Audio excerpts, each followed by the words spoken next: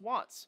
The performance is supposed to be able to reach the same as a pair of 980Ms